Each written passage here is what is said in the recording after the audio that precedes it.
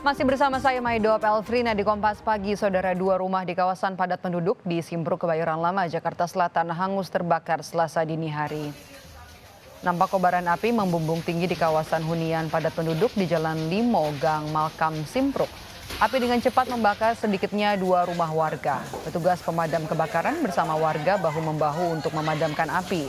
Peristiwa ini menurut saksi berasal dari sebuah rumah di lantai dua yang diduga berasal dari percikan korsleting arus pendek. Tidak ada korban jiwa maupun luka dalam peristiwa ini. kameranya iya udah ada asap gede. Nah, itu muncul dari depan. Nah, sedangkan waktu itu pas saat itu anaknya masih di atas. Jadi tiba-tiba aja langsung rame warga. Gitu-gitu Api langsung cepet gede ya bang? ya? iya betul Kira-kira apa yang terbakar bang? nah karena kayak dari depan ya kurang tahu antara listrik atau colokan kayak Rumah atau apa gitu? rumah